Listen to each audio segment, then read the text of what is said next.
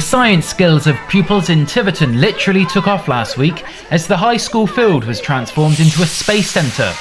Year 8 spent the day with Starchaser Industries, creating rockets before blasting them off into the sky.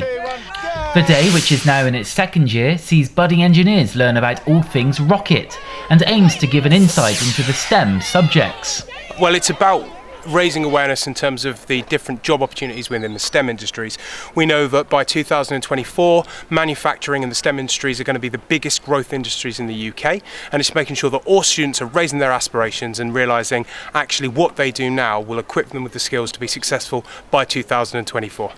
Starchaser Industries visit hundreds of schools across the country and say that the Tiverton pupils may have got what it takes to maybe one day send a real rocket into outer space. I was very, very impressed because, uh, you know, I've been doing this job for about 15 years. We go all over the country. We do about 200 schools a year.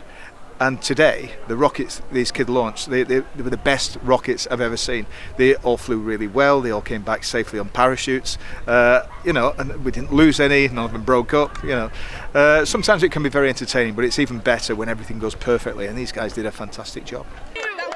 So look up to the skies, and maybe one day we'll be seeing rockets blast off into space thanks to a little bit of help from the minds of a Tivertonian. Lewis Clarke, MDG News, Tiverton High School.